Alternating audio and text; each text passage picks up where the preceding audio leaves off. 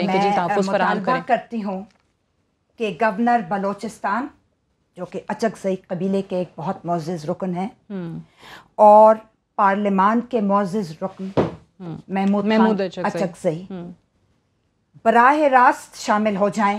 ٹھیک ہے۔ اور وہ جو اعلیٰ اور عرفہ تقریریں کرتے ہیں پارلیمان کے اندر جی۔ اور بلوچستان کے گورنر کی حیثیت سے آج وہ اپنے قول اور فعل کے تضاد کو ختم کرتے ہوئے قانون کی حکمرانی کو مقدم رکھیں اور کہیں اور کہیں کہ یہ شخص ہمارے قبیلے کا شخص ہے چاہے ان کا رشتہ دار ہو یا نہ ہو۔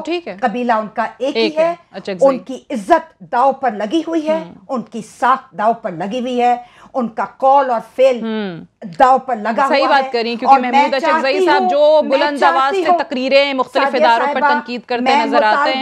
یہاں کریں۔ میں مطالبہ کرتی ہوں کہ گورنر بلوچستان کل صبح تقریر کریں اور کہیں کہ اس آدمی کی پشت پناہی ہم نہیں کرتے قانون کی حکمرانی ہوگی۔ محمود خان اچکزئی صاحب محترم کل پارلیمان کے اندر تقریر کریں اور کہیں کہ ہم دستبردار ہوتے ہیں اپنی قبائلی افیلیشن کے ساتھ اور ہم کہتے ہیں قانون کو کہ قانون کی حکمرانی ہو ٹھیک۔ And let the law take its course